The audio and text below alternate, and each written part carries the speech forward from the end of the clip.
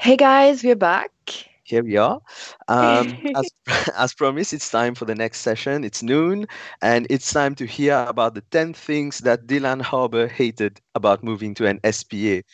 We've got quite a few sessions on Nuxt, SPA, um, SSR, static, Mhm. statically generated sites. So this is this like fits right into our track.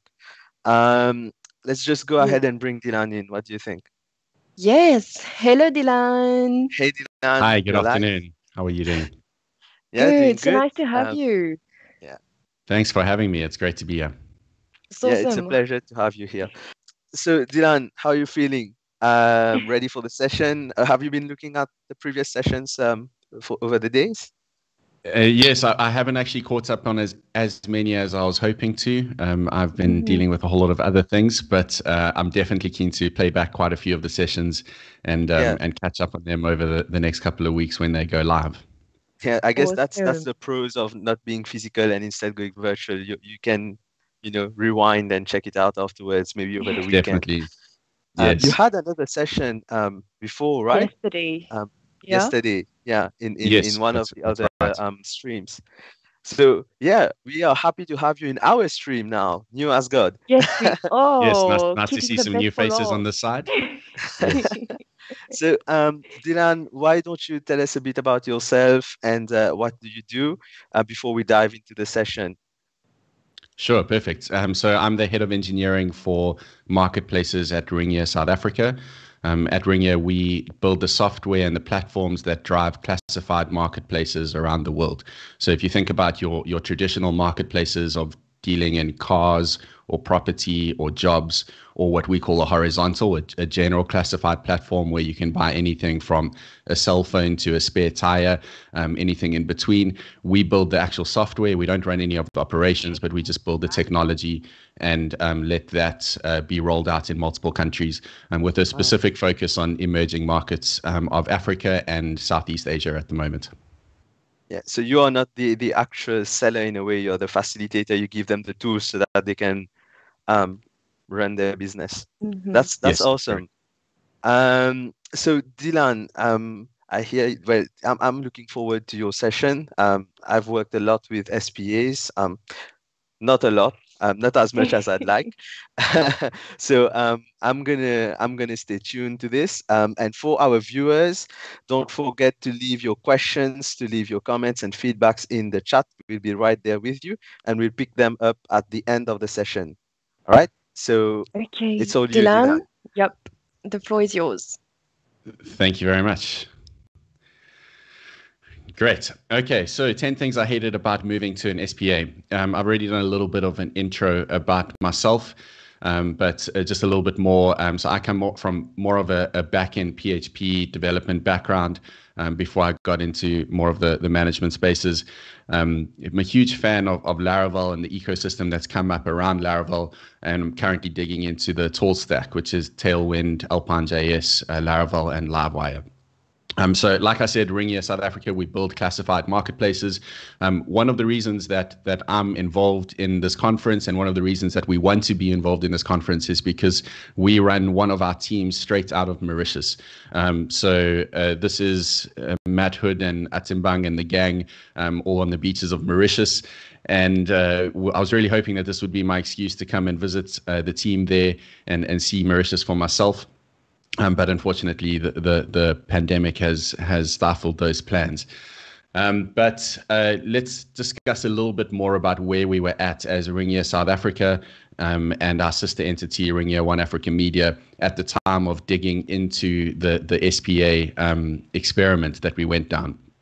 So at the time, this was about two years ago when we started down this road. Uh, we were about 40 plus developers. Um, we're spread ac- across half a dozen countries. Um, currently, we're using more of a remote first approach, and, and we're very committed to remote working. Um, so we do have multiple developers in, in different regions and in different countries. Um, but w- through the, the the systems that we had developed, um, they were generally more of a Laravel focus, more of a, a traditional server rendered, um, PHP rendered um, type of of architecture. And we had managed to roll that out across a number of marketplaces, so more than 20 marketplaces around Africa um, that had had um, gotten our solution in, in how we rolled out these marketplaces.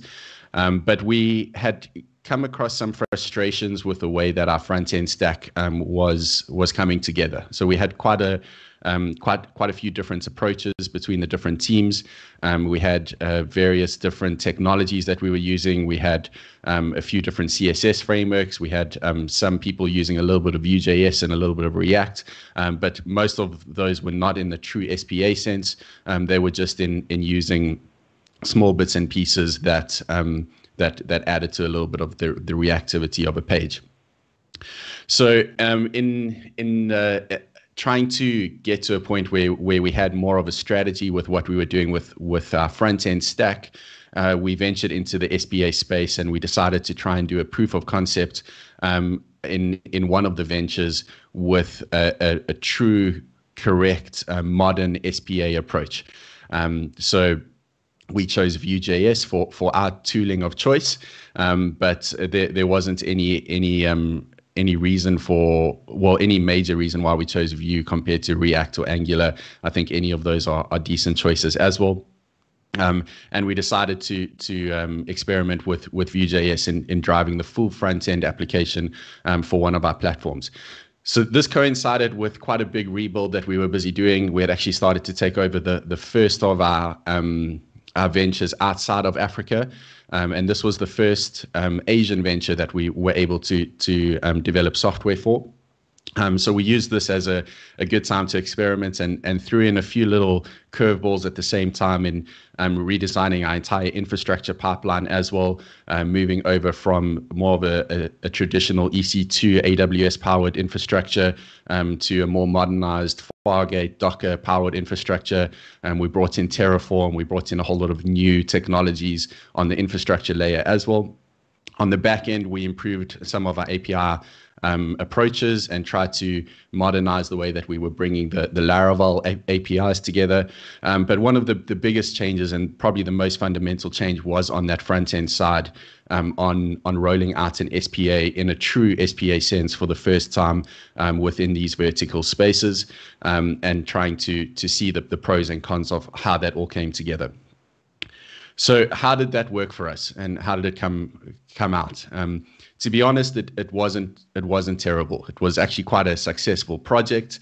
Um, we managed to get all of the the important KPIs, all the important metrics um, up. We managed to deliver a product that got to production eventually, and um, managed to um, managed to to to tick the boxes that we needed to tick for the most part. Um, and for, for all intents and purposes, we could call this project a success. It was a platform that was beautiful. It was responsive. It worked the way that we wanted to. It did everything that it needed to do. Um, but it just came with a lot of extra gray hair. Um, these these gray hairs in my beard, probably half of them came from this project, um, and came from the frustrations that we came that that came up um, during the the approach of moving to an SPA. So, um, out of that frustration, um, this is this is basically where the talk came from. We are not haters of the SPA technology space. We're not haters of Vue.js or React or Angular or any of the other great tools that are out there. Um, but we we did uh, find that. Um, there were a few gotchas that we were not really well prepared for, or that we underestimated when we went down this road of rolling out an SPA. Um, and that's kind of what we wanted to talk about today. So before we get into it, um, a, a, single a, a, SPA single page application, what is it exactly, um, and uh, what are we actually talking about in in making the move from a traditional server rendered application to an SPA? So Wikipedia defines an SPA as a web application or a website that interacts with the web browser by dynamically rewriting the current web page with new data from the web server instead of the default method of the browser loading entire new pages. Um, so the goal is faster transitions that make the website feel more like a native app. Um, and I think that's a great summary um, in in the ma- the main difference with an SPA being that you don't get that in that full new page render for every click that um, a user goes through. So um, rather you'll just update this, the components or update the the small sections of the page that you're really working with, um, and you won't roll out um, a, a, full new page reload for, for each one. In addition to that, um, there's a lot of the fundamental responsibilities that used to be back-end specific, which now move over to being front-end specific. Um, so your routing, for example, is, is generally a back-end responsibility. Uh, it's something that has, especially in the Laravel space, has been firmly responsible in, in you know the back-end part of things. Um, and generally in, in, in most web spaces, that's that hasn't been a responsibility of JavaScript. It's been a responsibility of what's what's on the server side that's actually driving it. Um, so that routing is a big change that shifts over from being a back end to a front end responsibility. Your your state management um, is quite a big change as well. Um, that creates a space where your browser can maintain the state of an application um, and kind of configure itself in different ways and, and update different components depending on what's happening with with the state of the application. Um, and because of that, a lot of your business logic ends up moving or being duplicated from being back end business logic to being front end business logic as well. So you could see that as a feature or a flaw, um, but that is one of the the um, the side effects of, of going with an SPA route is is putting a lot of this business logic in the the front end code base.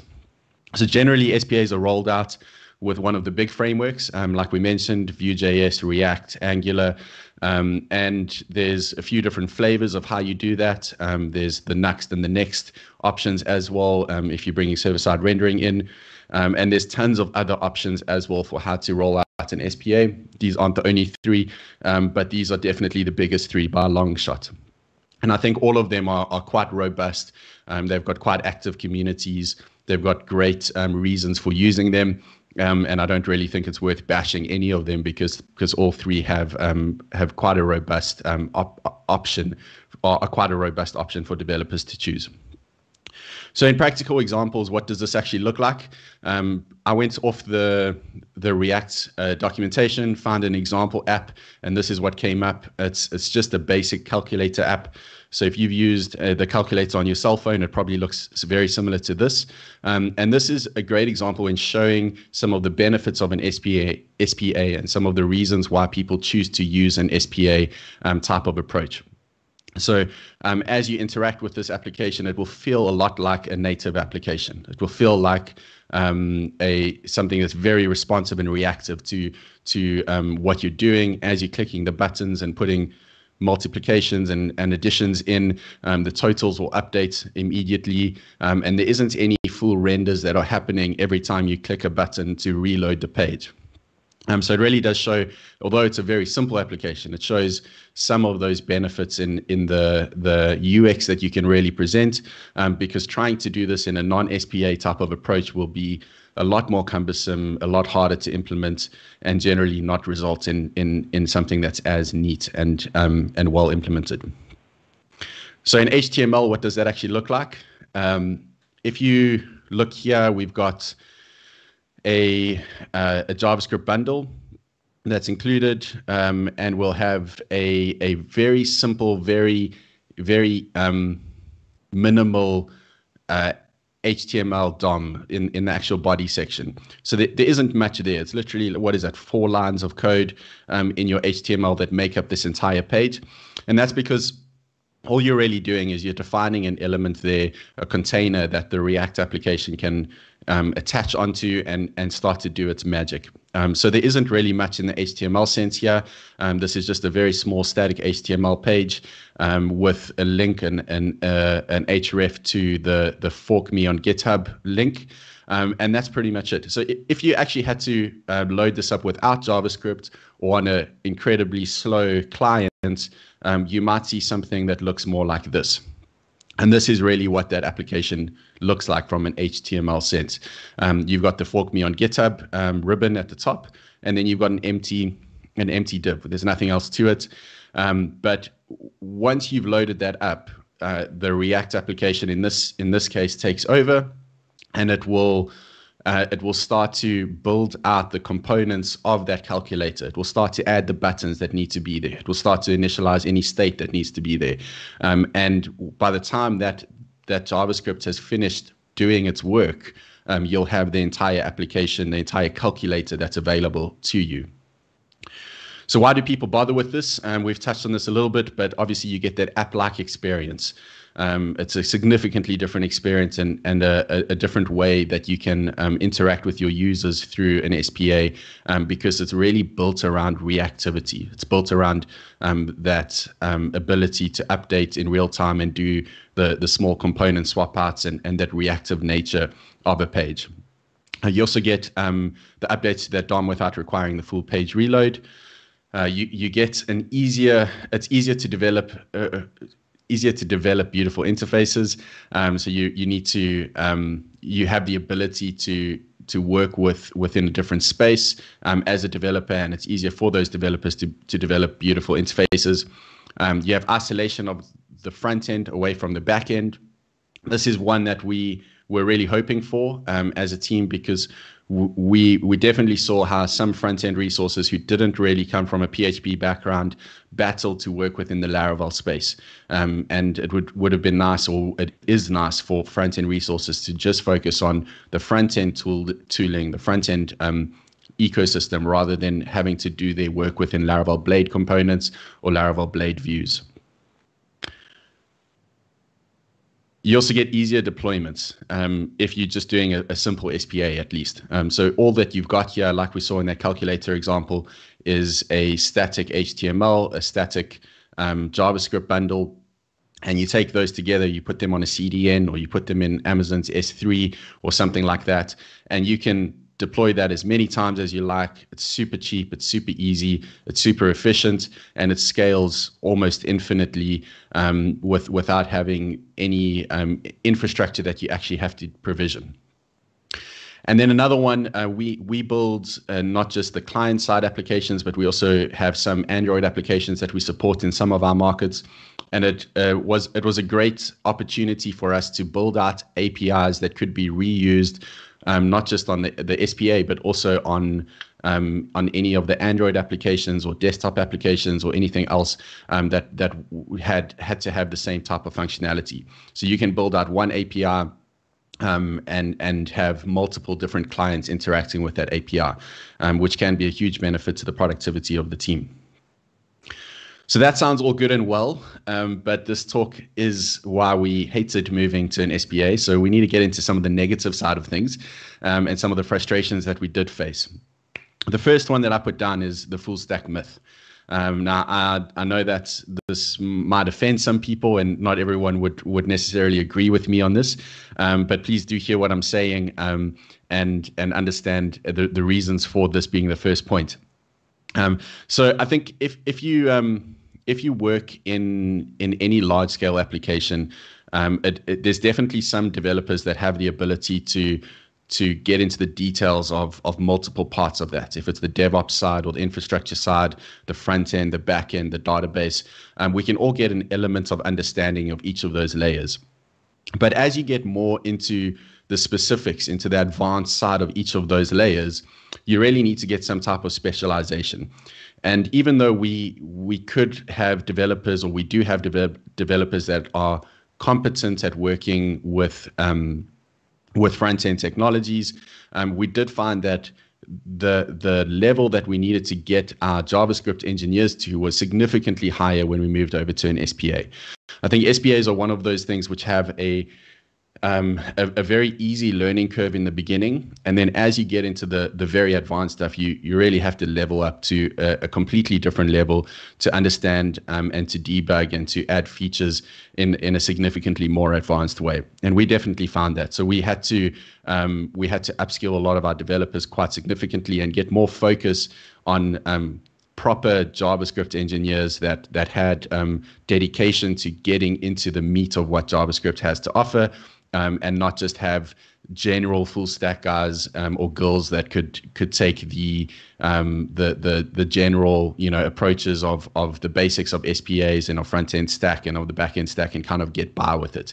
Um, so I think I think it's the main point here is just that you you really need to um, get significantly more advanced engineers if you get um, into the meat of what what an SPA has to offer, um, and especially if you have very complex and very custom requirements in the way that you roll them out. Number two, SEO. Um, now, classified marketplaces in the in the, the space that we operate in, they live or die based on the success of their organic traffic. Um, there isn't an option for you to have a sustainable classified marketplace if you don't have good SEO. Um, and SEO became a major requirement that we had to fulfill as a team and as an organization to make sure that the product that we were offering um, and the product that we were we were building could actually have a, a, a decent lifetime ahead of it. So SPAs generally are, are known for reactivity. They're known for being app-like. They're not known for being great at SEO. Um, and there are some ways around that. We're going to dig into that now. Um, but overall, um, SPAs don't do well with SEO, um, and they they don't um, lend themselves to being easy to implement with good SEO. Um, so, despite what what you might have heard or read online, um, there there are quite a few videos and and talks and articles that go around saying that Google doesn't need you to um, to server render your your content, and Google can handle your JavaScript and all the rest. The reality is that your turnaround time in the Google indexing pipeline is going to be super super bad if you don't actually have a full DOM available to um, to the the crawlers when they come to your website, and that may change in future. Um, but the reality is, the test that we did, um, the partners that we were engaged with, um, confirmed this with us, and and there's absolutely no way that we could have gone to market um, without having, well, with just having an SEO, uh, uh, with just having an SPA, um, without uh, SSR backing that. Um, the the impact of uh, of the bad SEO, um, apart from from Google indexing being quite slow or non-existent in some cases. Um, you've also got the meta tags that will be completely incorrect. Um, so your OG tags, your social sharing tags, as well those social sharing previews, um, share on Facebook type of preview things, um, will will not have content specific um, details in them in some cases. Um, and then don't don't even get me started on sitemaps. That's a whole nother complexity. I think it does depend on on how your um, how big your application is and how many um, how many how many pages or how many uh, entities you really need to to represent in your sitemaps. But the larger that becomes, the harder it is to do within an SPA space. And and we ended up moving that out into its own microservice um, and and reverse proxying that in. But there, there's a lot of additional complexity that comes with sitemaps um, if you have very advanced requirements uh, or very large requirements with your sitemaps that don't play very well with SPAs. So that brings me to number three. Um, generally, the solution that's proposed and, and the well accepted solution on the internet for for um, the SEO issues that come with an SPA is to just apply SSR um, to to to roll out an SPA that's backed with a, a server that will process through all the, the client side processing that needs to happen um, on a server, an intermediary server, and then um, send a more complete and a more up to date DOM to the browser on that initial page load. So, why do we not like SSR? Um, it does work definitely does work. We managed to get it to work. We managed to get the successes that we needed um, by by rolling out SSR. Um, but overall, it's uh, it's just something that steals the joy out of working with an SPA. Um, SPAs are so awesome to build because you can do things as a developer and you can see the awesome impact um, very quickly. There's very little work required to actually make things happen, make things happen that look really good, um, especially from a UX side and from an interactivity side. And then as soon as you bring SSR in, you're just bringing a, a layer of complexity that steals that joy out of building with an SPA. So a few examples just on, on what the actual SSR does here. So let's go back to that calculator app. If you if you had to load up that page um, with no JavaScript enabled, um, you would get just the empty body like we saw earlier. Three lines in there just with a little um, A tag with a, a, a fork me on GitHub. Um, but if you had server-side rendering backing that same that same application, it could look something more like this, where um, on that initial request, you get the full page that that loads up, the full DOM is populated, and it includes the buttons, it includes um, the anything else, any links that need to be there, um, and and that allows for crawlers as they're going through your website on that initial request to actually see everything that needs to be on that page rather than have to wait for JavaScript to process or have to process the the, the entirety of of um, your your your thread basically before they can see the page and see the contents of that page. Um, so so generally SSR is implemented uh, with a, a, few tooling helpers um, and or a few specific projects. Um, some of the bigger ones in the React space is, is Next.js and in the Vue space is Nuxt.js, um, kind of sister projects that do very similar things um, in helping you to implement it and, and making the implementation significantly easier. There's also a, a, lot of other options. There's an official Vue SSR plugin that you can use um, with Vue.js if you don't want to use a Nuxt. And I think that generally our frustrations with SSR um, would be the same across any of those types of implementations because it's not necessarily just the tool itself, but it's it's it's also about the concept of of why you're needing SSR and the, the additional layers of complexity that it brings. Um, so those reasons that that you might end up reaching for it um, is to get that fully populated DOM on the initial request, the potential um, for a performance boost because now all of that work is not happening on the, the client side, on the browser side, but it's happening on the intermediary server side. And um, that can uh, give you the ability to cache things there. It could give you a, a lot more performance if it's a if it's quite a beefy processor or, or quite a beefy server that's that's actually doing that. Um, and you you get the ability for search engines to index without requiring JavaScript to process your your page.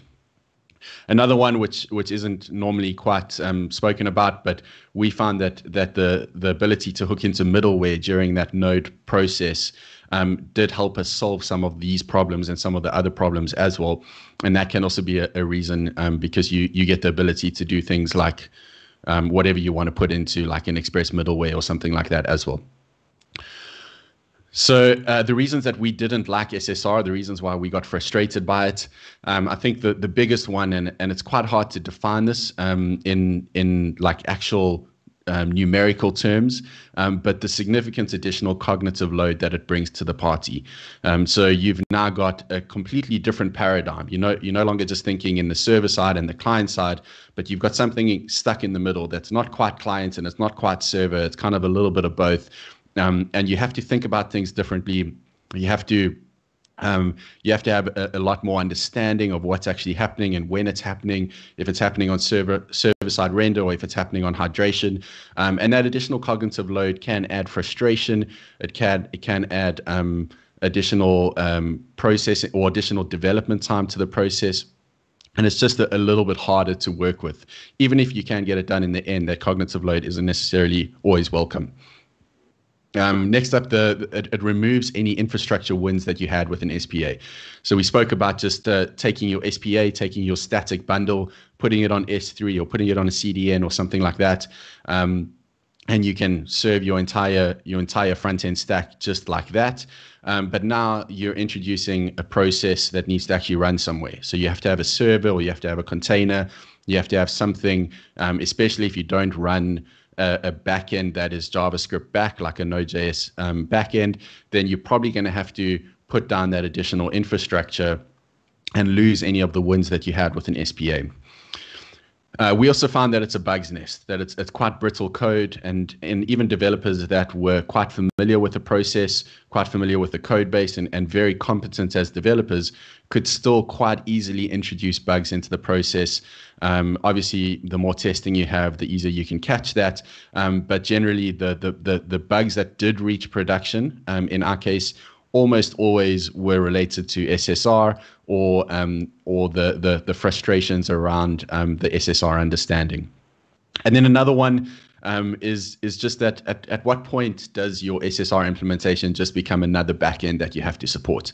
Um, we we wanted to go this way to try and get some of the simplifications, some of the modernizations of our stack, and it felt like we were doing one step forward and two steps back, um, and that just created some frustration, especially when you look at the wins that we were expecting to get.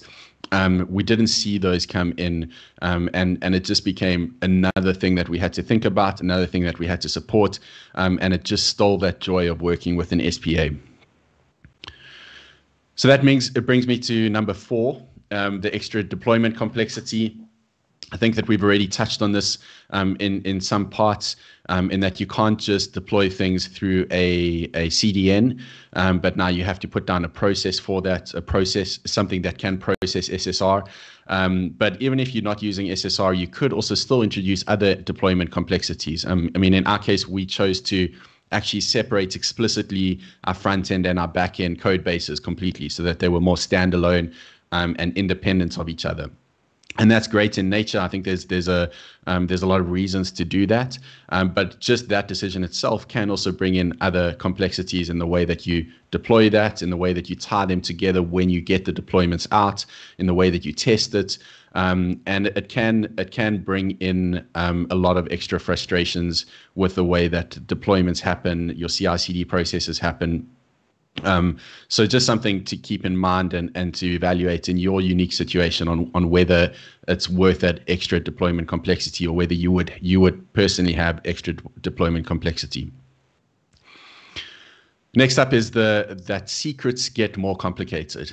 Um, now this might be self-explanatory. It might be something that's completely obvious, um, but again, it's just that additional cognitive load. It's it's that change of thinking, um, and it's sometimes a little bit frustrating to to have to try and find ways around this um, because now what's happened is you've taken some of your business logic, you've taken some of your your your um, code that would normally be a back-end responsibility where you have um, everything isolated away from public view. You have you have that running on your server.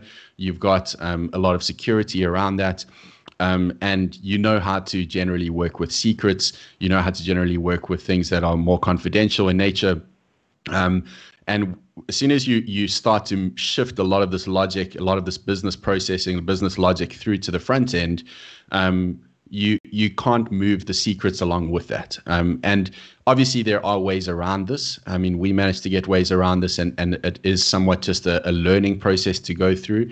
Um, but if you're going to be doing any integrations with third parties that require secrets, if it's a payment gateway or or anything else, um, you you might um, get a few frustrations in the way that that's handled. And if that isn't handled correctly, then your code base that's on the front end could could um, create a lot of extra security holes within your your um, application if you don't actually understand um, the limitations of, of what you can and what you can't put in there. I think the long and the short of it is just that um, if you if you are putting anything in your JavaScript bundle, you have to treat that as being publicly available, um, because anybody can look at what's in that JavaScript bundle. They can interrogate it, they can debug it, they can read through it, um, and you you really are just revealing more to um, potential hackers, to potential users, um, and and and it, it, does get a little bit more complicated. So it's not to say it's impossible, um, but it is just a, a, change in thinking and something that that can be a little bit frustrating um, for developers to get their head around sometimes. Number six is the increased risk of exposing your data.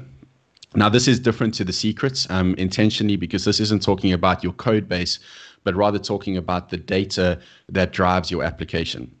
So this might also be unique to your industry. Um, in our industry, our data is what makes our companies valuable to a certain extent. Um, the fact that we have listings, the fact that we have um, content available that might not be available in other places. So there are always other parties that are trying to get their hands on that data. Um, they're trying to trying to either scrape us or um, steal our data in some shape or form. And um, by going with an SPA, you're generally going with a a, a um, an API driven um, application. So you're going to have some type of JSON API um, or something similar on the other end that's feeding your SPA. And the fact that you're going with an API approach means that your data becomes um, easier for people to interrogate, um, to scrape, and to to steal, basically. Um, so that's something that might be unique to our context only, and not necessarily applicable to everybody. Um, but your APIs are well formed, they're well structured, and they make it easier for other people to sniff around and see what's happening and actually start to pull that data apart. Number seven is the increased cost. Um, we did touch on this a little bit earlier, um, but the increased cost, I've got three different costs that, that, that we found increased significantly in moving to, to this specific SPA approach. The first is um, the infrastructure cost. I think we've touched on that already, especially if you're going to go with server side rendering, then this becomes applicable where you now need to roll out containers or servers or something that can actually run your SSR process. Um, and that increased cost um, is going to be felt at some point. Even if it's small, um, there definitely is something that that needs to run in in infrastructure somewhere. So it's, it's just going to be a, a, something that that you need to suck up. Um, the second cost that increased for us is the hiring or the developer cost.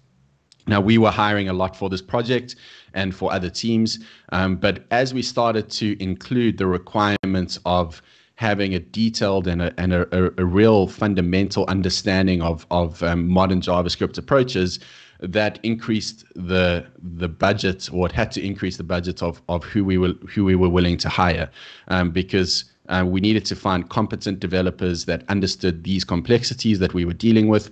Um, and that can increase your your hiring or your developer cost. It could also mean that that maybe you just need to hire dedicated resource. So it could just be an extra headcount rather than increased increased cost of specific people. Um, but there, there could be an increased cost, and we definitely saw an increased cost in in the developers um, that we needed to to employ to support this type of product. And then the third increased cost is the increased product and productivity cost. Um, so we found this is also completely anecdotal, and this is just our personal experience. Um, but even once we became familiar with the stack, once we had things up and running, once we had it in production, um, the cost of actually rolling out these features did increase in some cases, and in some cases it increased significantly um, because of these additional um, complexities of, of SSR and of um, the different um, cognitive load and some of the other things that I'm going to highlight later. Um, so we found that that we can do things faster, more effective, cheaper um, with with not going with an SPA approach in some of these cases, and especially when you put SSR on top of that. then, then we can with the more traditional approaches. Number eight is HTTP status codes. Now, this might just be a personal peeve of mine um, because I come from more of the back end space. And uh, one of the, the contracts, one of the, the fundamentals of how the web works is with HTTP status codes. Um, but in the SPA space, the HTTP status codes don't really mean all that much. Um, you're updating small parts of components. Um, you're not doing those full page reloads. So generally, you don't get the ability to set specific HTTP status codes. You don't get the ability to to manipulate them or to to get control of them as a developer. Um, so that can cause huge frustration within within the um, the developers spaces, and it also depends on on on how your your international requirements um, or your your requirements are for for how your your status codes need to be need to respond. We we work a lot with with an international SEO team that has very specific requirements on what we need to do at specific places um, because our um, our our organic traffic is so valuable to us. Um, and we found that in some of those requirements, it was really hard to actually implement it, or in some cases, impossible to implement it, um, and especially the specific HTTP status codes that we needed to return at specific points in an application, um, because SPAs just don't give you that ability. So it sounds it sounds silly, um, but if you don't believe me, then take an SPA that you're busy playing with and just think through some scenarios of if you wanted to return different status codes, how you would do it, and see if you can if you can be successful in that. Um, it, there are some ways around it, um, and especially if you're doing it with server side render, there's some there's some options of doing it on that initial request, um, but it's completely not possible to do it in in some of those other scenarios, and especially on the hydration side of things. Number nine is external tooling frustrations. Um, so I think there's there's a few a few big ones like Google Analytics, um, which most people will be be familiar with.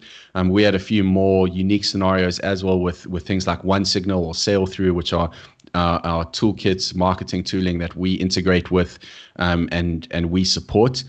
And um, the the documentation and the the plugins or the SDKs or the the options available for implementing those are generally geared towards non-SPA approaches. Um, so if you're going to integrate with any external party, um, generally you, you you're going to have a few frustrations and in some cases a, a, a lot of frustrations in trying to get these things rolled out.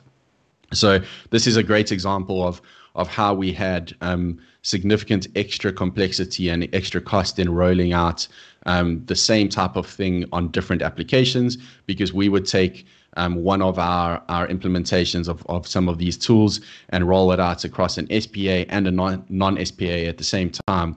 And it would take 10 times longer to roll it out on an SPA. Um, and that's just because the, the, the tooling that's provided um, is not going to necessarily work with an SPA.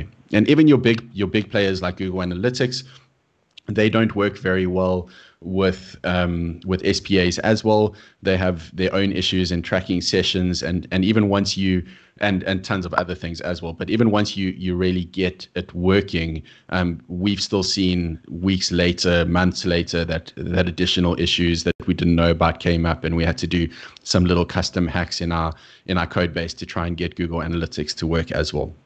So um, this might also be unique to your implementation and unique to your product offering. Um, but if you're going to be integrating with external tooling, um, just keep that in mind and see how easy it would be um, to do that with an SPA versus a non SPA approach. Number 10, um, the last major point here is the advanced route handling. Um, now, again, this is maybe more unique to our case, um, but this is our story that we get to tell here and uh, we we have we have the requirements of having quite advanced routing um, patterns that we had to support, and often those are driven completely by databases. So it's not something that we can really put in static files because the number of combinations that could exist could be exorbitant. Um, so here we've got you know offer type, category, location one, location two that we need to support if you took all the numbers of variables that could be in there, um, valid and invalid options, you would end up with about 1.4 million possibilities which is completely impossible to put in um, in a, a, an SPA's code base um, in in doing it directly in the bundle. So we would end up offloading that onto an API and having different logic to handle things depending on whether it's SSR that's handling it or on hydration that's handling handling it. Um, but overall, um, it just gives a lot of extra complexity because you don't have the database available to directly query when you're busy resolving your route.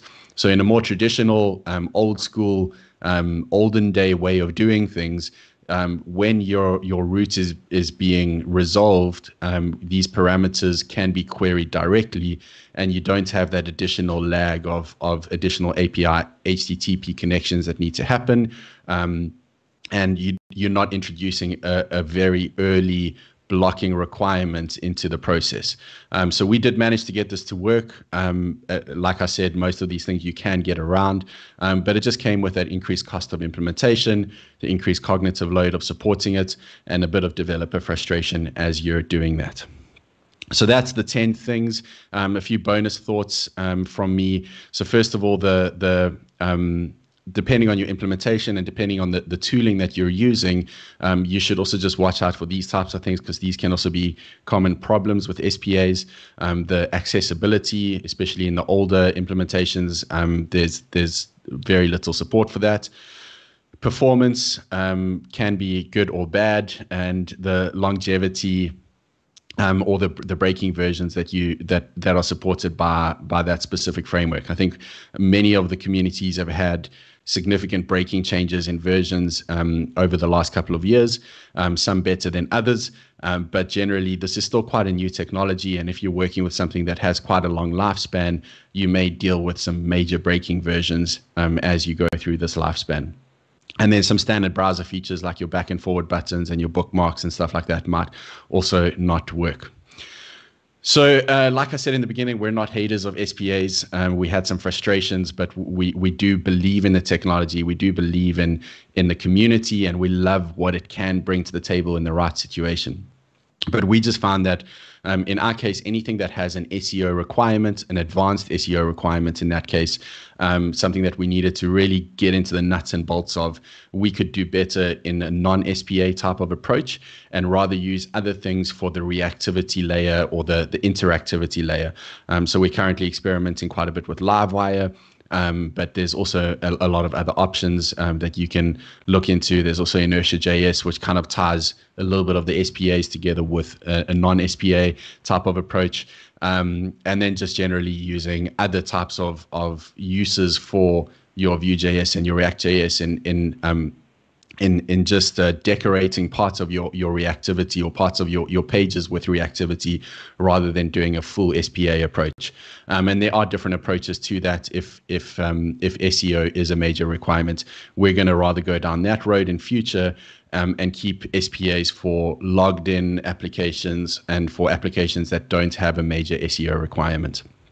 Um, we'll also look at them for ancillary or standalone applications and things that might become a PWA, um, because I think those are really powerful, and that's where SPAs um, can also shine through and, and do a much better job than your your more traditional um, applications. And any internal tooling, any dashboarding, anything like that, um, would would also go a long way in um, in being rolled out as an SPA so that's it. Um, to recap, those are the ten things that I hated about moving to an SPA. Um, I do hope that you you have learned something, um, and I hope that you you take this within the right spirit that it's presented with. Um, but if you have any questions, you're welcome to hit me up on Twitter um, or drop me an email, or we can chat about it now. I think we've still got a few minutes. Thanks very much. Hey, Dylan. Hey, that Thank you was so an awesome session. Yeah, thank you. Um, Thanks. we've got quite some activity in the chat. Actually, a lot yeah, of people. you spoke quite a debate in there. yeah, quite a debate in the chat where um, Sure. they are like sympathizing with the things that you mentioned, the, the, the issues you faced with SPA. Um, and the, the debate is actually on, it started when someone Which one asked, is the worst uh, one? yeah, which one, which one is the worst one? Um, we're gonna, the we're gonna worst let you point or the worst first. the worst technology. All right, go ahead. go ahead, the yeah. the the it was the worst um Issue, the worst issue you uh, encountered. yeah, the Yeah. worst issue. Well, That you look, to, be honest, when I presented this um, this idea to my team, when I said, "Look, hey, I'm I'm thinking of doing a talk on the ten things I hated about an SPA," most of the responses came back saying, "You could just do ten things I hate about SSR," um, because that's basically the summary of everything. Is is um uh, you you can generally stomach a lot of the rest of it. Um, but the SSR is really what takes it from being something that's a great experience to being something that's just like a oh, it's just such a slog. It's just so frustrating um, when you you just lose that joy. Um, and and that's that's the the experience that our team had, um, not just myself, um, but but the, the entire team really just lost that joy with with SSR and, and kind of stole that joy from SPAs. Yeah, that's that's exactly in line with what everyone is talking about in in the live chat. Um, so when when the question was asked, what was the worst, um, you know, the thing that you could hate the most, uh, yeah, everyone was like SSO. I can bet on SSO. SSO is the winner here. So the true. feeling is is globally mutual, apparently. Um, yeah, but there, there is a, a- a follow up question. Um, what's the worst bug or worst thing about SSO basically that made it so hard to to handle with an SPA? Wow. Um, Too many. the, the worst thing. Um, I think for me it was the routing. Um, I think because it, it, it introduced um, such a such a, a hard block into the way that we could handle requests. Um, We Uh-huh. basically had to um, during the, the SSR, that initial SSR process, we had to resolve all of the routing patterns um, that that that uh, that could be introduced, um, and that that was quite cumbersome and quite frustrating to do, and, and did introduce a lot of additional bugs um, just in that one part of the application. Um, so SSR together with the routing, those things kind of overlap together, um, and and it brought a whole lot of bugs together with Like it. So I think that that was yeah that was one of my personal frustrations. But I think if you chat to any person on my team, any of the front end devs especially, um, they'll They'd probably have- have their own reason why they hated SSR um, and the implementation of it. Uh, I think also that that also extended past the developers because SSR created a lot of frustration in our platform engineering team as well in the way that they needed to change the way that they they rolled out the application to now support SSR um, and add that additional complexity into the the CI/CD processes and the the infrastructure pipeline processes as well. Yeah.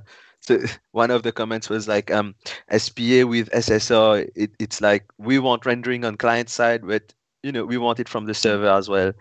Yes. it is that middle ground. You're stuck. You're stuck in between a client and a server, and you're not quite one or the other. Um, so it, it is a, a, just a, a frustrating place to be in as a developer. Yeah, true.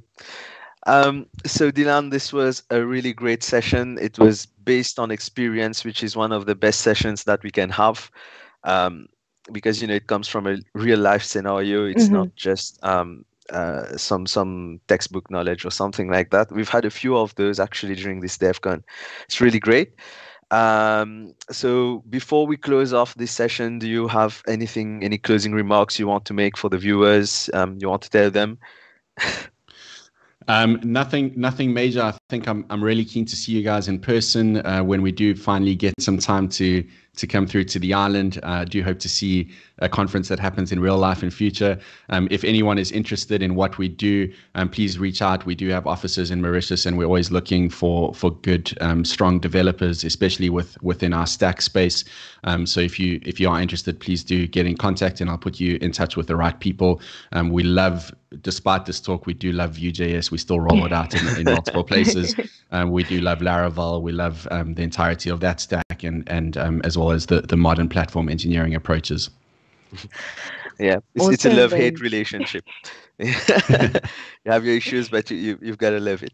Um, all right, so thank you very much for this session, Dylan. Uh, we're about to close off um, and see you in the next one. As you said, you want to be here physically. This probably is going to happen next year. Um, We're stay in keeping our fingers crossed. Yeah. Yeah, Great. stay Put in me touch. down. I'll be there. Yeah, we're going to keep you in the loop and let you know. All right, then. Thank you very Um, much. Thanks for having enjoy me. the Thank you rest so much of for your the- of the show. time. Bye. Cool. Cheers. Bye.